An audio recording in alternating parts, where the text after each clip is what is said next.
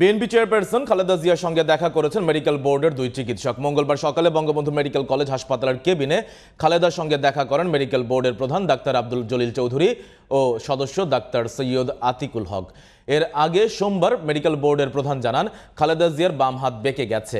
এছাড়া কোমরের বাম অংশ, বাম পা ও কাঁধ সহ শরীরের বিভিন্ন অংশে ব্যথা আছে। তবে তাকে আধুনিক চিকিৎসা দেওয়া সম্ভব বলে মনে করেন মেডিকেল বোর্ডের প্রধান। আর এর জন্য প্রয়োজন রোগীর সম্মতি। সবকিছু ঠিক থাকলেই চিকিৎসা শুরু করবে মেডিকেল বোর্ড। আজ থেকে তাকে আধুনিক ফিজিওথেরাপি দেওয়া হবে বলেও জানায় মেডিকেল বোর্ড।